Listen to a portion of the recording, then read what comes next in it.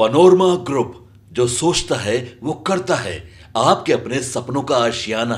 कि सुंदर और कल्याणकारी आरोग्य और संपदा देने वाले हैं। इसलिए हम सभी अपने बुद्धि के विकास के साथ ही वर्तमान राजनीतिक परिदृश्य में पार्टी के नमस्कार आप देख रहे हैं सिटी पोस्ट लाइव और मैं हूँ आपके साथ प्रभाकर पांडे। आपको बता दें कि भारतीय जनता पार्टी कार्यालय में अटल सभागार में सम्मान समारोह का आयोजन किया गया, जिसमें नवनियुक्त प्रदेश अध्यक्ष डॉक्टर दिलीप जायसवाल का भव्य स्वागत किया गया।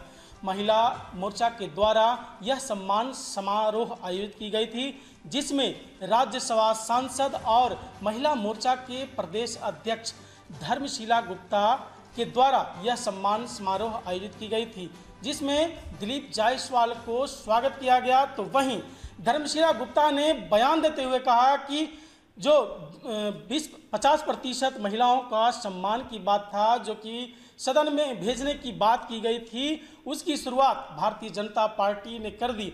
और इस मुद्दे पर क्या कुछ कहते नज़र आई? धर्मशिला गुप्ता पहले आप इनका बयान सुने।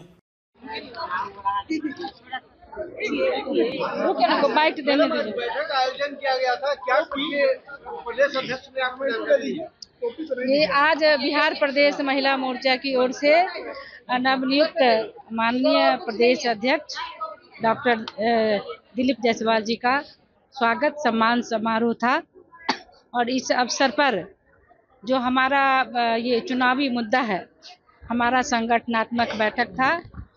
और मैं अपने माननीय प्रधानमंत्री श्री नरेंद्र मोदी जी और हमारे प्रदेश के अध्यक्ष डॉक्टर दिलीप जायसवाल के प्रति आभार व्यक्त करते हैं कि आज़ादी के बाद पहली बार बिहार प्रदेश की महिला मोर्चा की सभी जिला अध्यक्ष बहनों को बीस सूत्री में सदस्य बनाया गया है।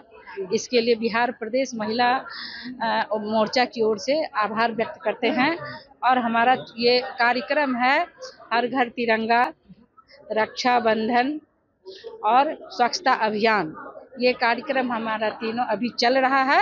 हमारे बिहार की सभी बहनें हर घर जाकर के तिरंगा लगा रही है और एक देश को संदेश जा रहा है। कोई जाति पाति भाग बोले कि महिलाओं को पचास प्रतिशत आरक्षण मिलेगा। आपने देखा किस तरह से अभी तो हंड्रेड परसेंट मिल गया। सभी जिला की बहनें हमारी विसूत्री सूत्रीय सदस्य बन गई हैं। मैं राज्यसभा सदस्य हमको बनाया गया एक साधारण परिवार की महिला हूँ। और पंचायत से लेकर प्रदेश तक मैंने काम किया और मुझे पता नहीं था, मैंने मांगा नहीं था और पार्टी ने सांसद बनाया। तो ये भारतीय जनता पार्टी है। उनकी निगाह पर्दे के पीछे जो महिलाएँ काम करती हैं, जो बूथ पर काम करती हैं, जो देश के लिए, समाज के लिए, पार्टी के लिए काम करती है, उन महिलाओं को भारतीय जनता पार्टी सम्मान दे रही है। है। बहुत खुशी है आपने देखा किस तरह से ये सभागार भरा था। और जो हमारी बहनें पूरे बिहार की बहनें जो बीस सूत्री की सदस्य बनी हैं उनको अ, महिला मोर्चा की ओर से आज सम्मानित किया गया है। हमारी कुछ बहनें यहाँ पर पार्टी ज्वाइन की हैं। हमारी मुस्लिम बहनें भी सईदा खातून और भी बहनें यहाँ पर आज सदस्य ग्रहण की है पार्टी का। और हम लोग अभी संकल्प लिए हैं कि हमारा 25 जो चुनाव है वो एनडीए गठबंधन की सरकार भारी बहुमत से बनेगी और नारी शक्ति जहाँ होती है वो लक्ष्मी दुर्गा सरस्वती का रूप होती है। संसद में मैम संसद में नहीं उठाए बात बांग्लादेश में हिंदुओं को यहाँ पर ये किया जा रहा पूरा एकदम बर्बरता पूर्वक मारा। आपको पता होगा कि वक्फ बोर्ड कमेटी बनी है।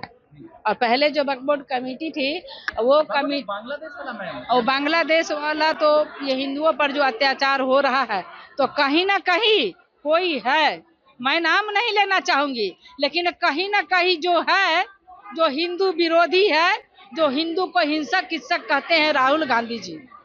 कहीं ना कहीं कोई है जो ये करवा रहा है, लेकिन देश देख रहा है, पार्टी देख रही है, जनता देख रही है, और भारतीय जनता पार्टी एनडीए गठबंधन चुप नहीं है, जाँच हो रही है। जो हिंदुओं पर अत्याचार हो रहे हैं, इसकी जाँच हो रही है और उचित कार्रवाई की जाएगी। महिला मोर्चा के प्रदेश अध्यक्ष धर्मशिला गुप्ता ने कहा कि माननीय प्रधानमंत्री नरेंद्र मोदी के नेतृत्व में यह पहली बार देश में भारत की आज़ादी के बाद यह महिला को सम्मान दिया गया है। यहाँ बीस सूत्री कार्यक्रम कार्यकारिणी में बिहार राज्य में जितने ज़िले हैं, सभी ज़िले से जितने भी बहनें हैं, सभी को उसमें सम्मिलित किया गया और सभी को सम्मान दिया गया और सभी को कार्यकारी सदस्य बनाया गया। ये पहली बार है भारत आज़ादी के बाद जिसमें महिलाओं को सम्मान दिया है वो भी भारतीय जनता पार्टी के द्वारा दी गई है। यदि महिलाओं को कोई सम्मान करता है तो वह भारतीय जनता पार्टी। और बांग्लादेश के जो बांग्लादेश में हिंदुओं पर अत्याचार हो रहा है उस पर धर्मशिला गुप्ता का बयान सामने आया है। उन्होंने कहा कि इसके पीछे किसकी हाथ है, वो सब पता है और इसका खुलासा भी होगा। इसमें जाँच पड़ताल चल रही है माननीय प्रधानमंत्री। नरेंद्र मोदी सक्रिय हैं इस मुद्दे को लेकर और बांग्लादेश में जो हिंदुओं पर अत्याचार हुआ है, उसके विरोध जो, विरुद्ध में जो भड़काया है, वह सारा, जितने भी बातें हैं सारे बातों का खुलासा होने वाला है और जाँच के बाद ये पता चलेगा, जिस पर कानूनी कार्रवाई की जाएगी। और क्या कुछ कहते नज़र आए धर्मशिला गुप्ता?